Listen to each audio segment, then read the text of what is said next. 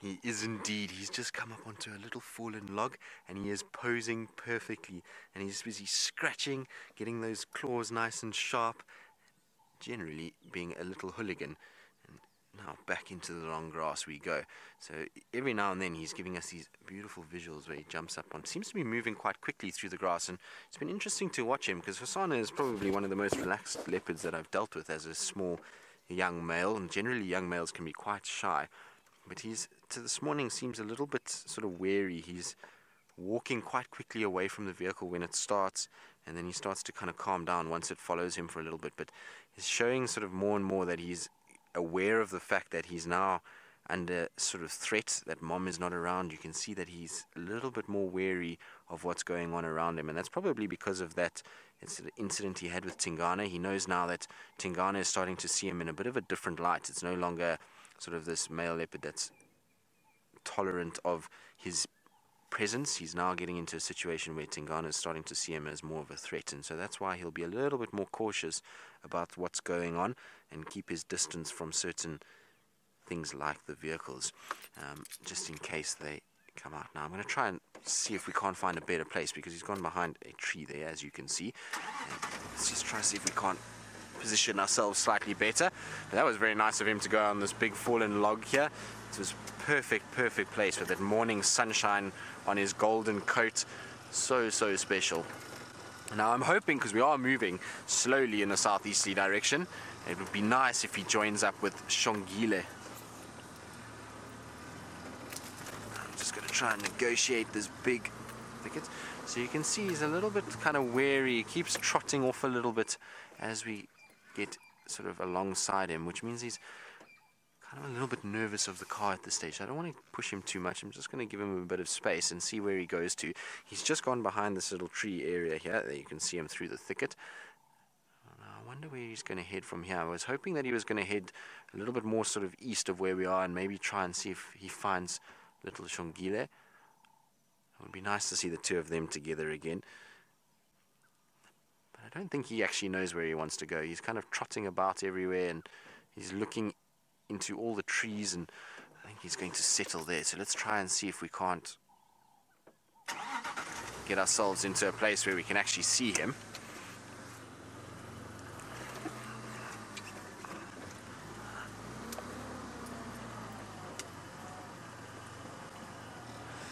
So, Kim, you're wondering if Hosana would be making big kills yet?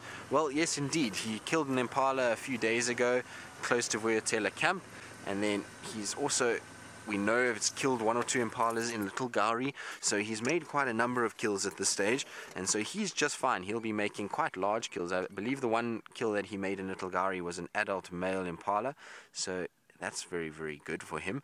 And if he's already started to get this technique where he's catching impalas, he's going to be just fine. So he's big and strong enough now to pull down those sort of sized animals in comparison to Shongile, who's still a little bit smaller. She struggles a bit to be able to pull down something of that size. So he is just fine. And you can see he looks in perfect condition. He's been without his mom now for it's over two months, and yet he's still perfect. He's got healthy body mass. He's not in any way skinny. You can see his neck is growing. So he's doing just fine. Like I say, he's taken to this single life and looking after himself like a duck to water. And he's done really, really well. So it's good to see that his mom obviously taught him very well.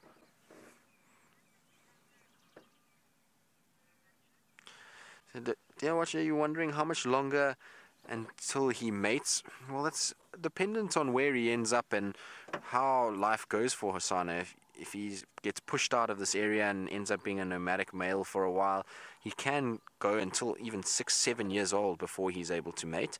Um, but if we look at sort of quarantine and Kunuma and, and Shivambalana, they all sort of managed to get a territory fairly young, and we're already mating by about four and a half, five years. So he's still got quite a while to go. You must remember that Hosana now is only about, I think he's about just over 16 months, 17 months. I forget where we are now. We're in May, so 17 months. Um, so he's still a young male. He's still got probably about two years to go before he's actually big enough to start challenging and take over any mating rights. So it's not going to be any time soon, but we will see where he ends up and how he ends up going and whether or not he can find himself a territory in this area that he is able to settle quite quickly or if he's going to have to be quite nomadic and end up quite far away. Now we're going to try and see if I can't reposition so we can see his face without all these big grass stalks. While we do that, I believe James has got something else that is glistening in the sunshine that he would like to show you.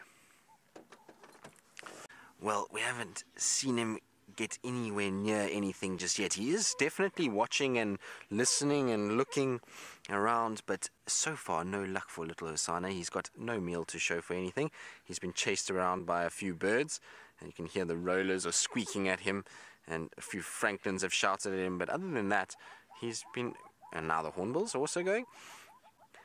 But other than that, he's just been sort of very circumspect and he's been walking around and listening and looking and smelling and just trying to kind of see what's going on around him. He hasn't really bumped into anything of substance, and so I'm sure as time goes and he starts to find what he's looking for, if he sees maybe some impalas or a duiker or something like that, then he will definitely start going into a lot more of a hunting mode. Earlier, he was trying to stalk some francolins, but got hopelessly nowhere near them. They were far and they saw him and lots of squawking and squeaking as he bounded after them, but really had no shot. But you can see how difficult they can be to find. Look at that camouflage there. Absolutely amazing. So Douglas, you're wondering how good a leopard's eyesight is. Well, it's very good. It's much like us. They have binocular vision, so the eyes are in the front of the head, and they have very large eyes, so they're able to pull in a lot of light, which means that they see very, very well at night, and their eyesight is definitely better than what ours is.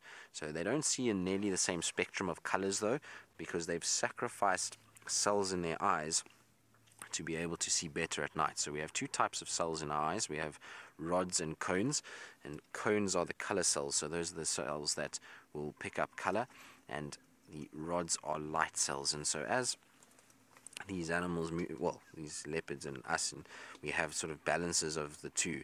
With leopards and lions, they tend to have very, very, very few cone cells, and that ends up with them being able to see much better at night, but not so well. Um, well, not so well in terms of color.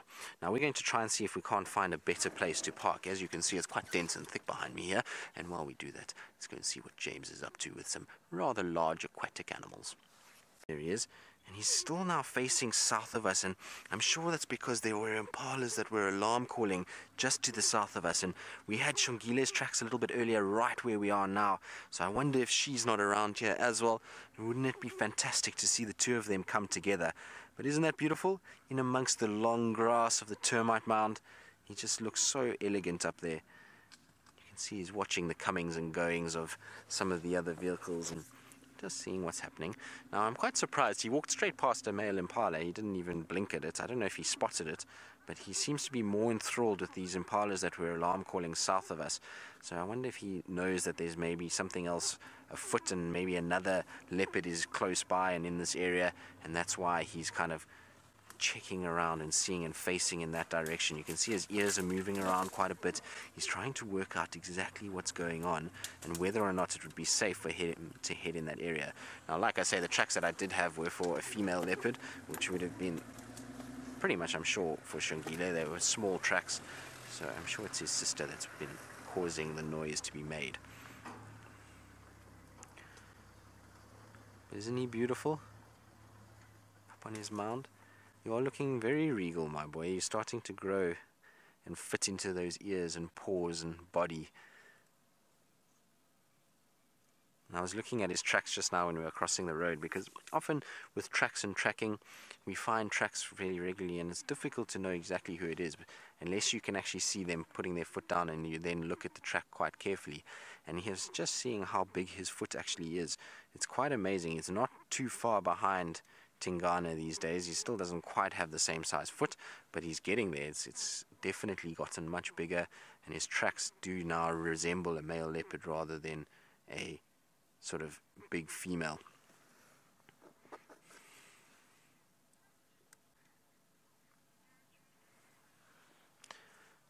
So Kirk, he's in Tingana's territory. That's where he moves around. Tingana was was what we well we think fathered these cubs, and um, so he moves around within that territory because when he was a tiny cub, This would have been where Karula hung around, and Tingana would have made sure that he protected this area so that these cubs would be protected. So that's where he is now. Um, we do sometimes find that Mvula will move around in these areas, but he's no longer really a territorial male. He's now nomadic, so it's more Tingana's territory than anything else. And he hasn't, Hosana hasn't drifted outside of that yet. We've only really seen him around these sort of natal areas where he was born. He hasn't Uh, started making any sort of progress and moving out and around and into other areas. And that's very, very important that he doesn't because at the age that he is, he can't defend himself against a really big male. He doesn't have the techniques, he doesn't have the experience, he also just doesn't have the size. And so he needs to stay in this area where kind of Tingana knows him and won't see him as too much of a threat just yet, but will still sort of provide some sort of protection by being able to push um, other um, leopards away and, and Hosana can then fly under the radar. And that's why you'll find that he won't vocalize, he won't scent mark. If he does urinate, it will just be in a bush somewhere. He's not going to actually use his back legs and, and actually scrape and urinate like that. Um, so he's going to try and fly under the radar as much as possible until he gets a little bit late, uh, uh, older, until he gets to about four or five years old, and that's when he'll start to then actually push for dominance and mating. But isn't that beautiful with all the grass? Absolutely amazing.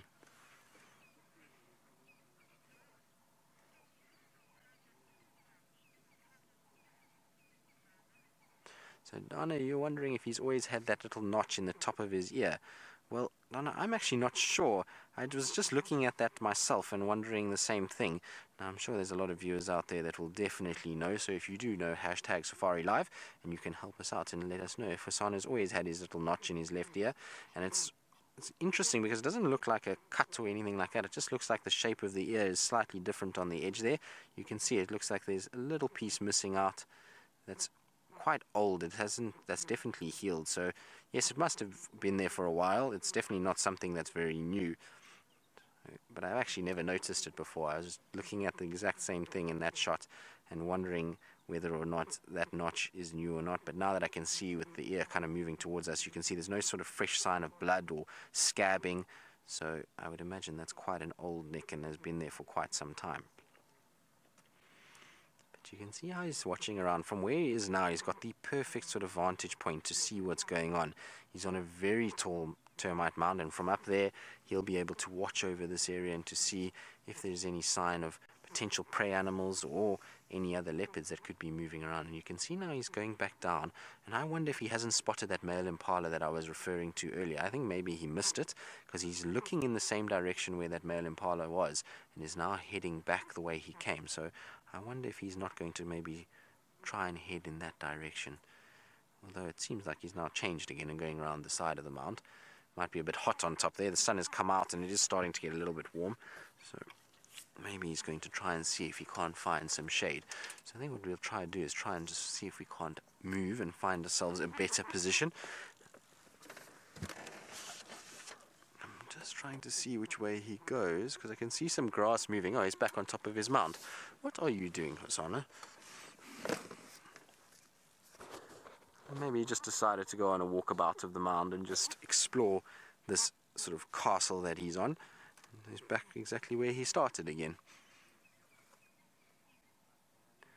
I wonder if he wasn't trying to find a place to lie down in the shade and there just wasn't a comfy spot down further down and he's now going to find somewhere else to lie and show us his bum. So I'm going to just move so that we can actually see something other than his spotted little tail.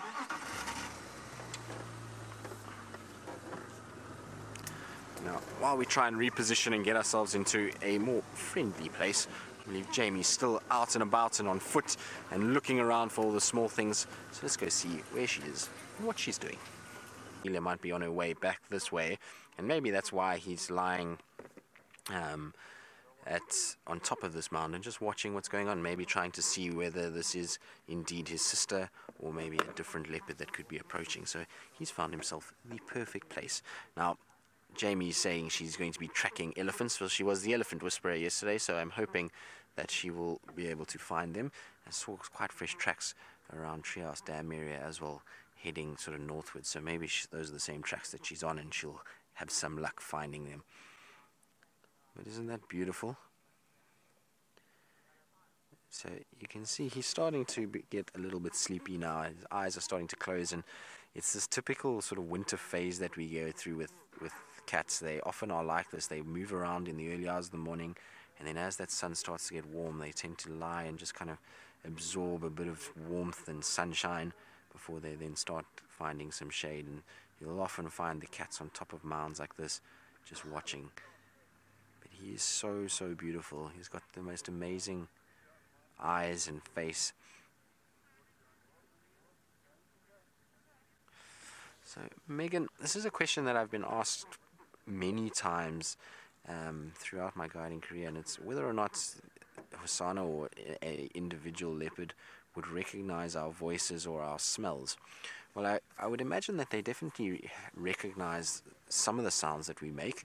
I don't know if they recognize recognize each individual as a sort of different entity, but I would imagine with the, the sense of hearing that they have, that they would be able to differentiate between all of our voices and know that certain voices are certain individuals. But the thing is, is that if you look at Hosana, the first time I ever saw him, he would never have known who I was, but yet his sort of demeanor was still the same. So he didn't react any differently to me as he would to, well, me the first time as he does to me now after spending quite a bit of time with him. So I think they do recognize the sort of smells and, and the sounds associated with vehicles, but whether they differentiate that from each individual is debatable. It's, it's possible, and, and I, given that they, their senses are so good, I would imagine that they can, but they seem to not show too many different reactions to different people. Um, you know, I've watched Hosana and I've seen now three different vehicles coming in, and his behavior hasn't really changed across those three different vehicles, and it's not like he's drifted closer to any sort of in particular person.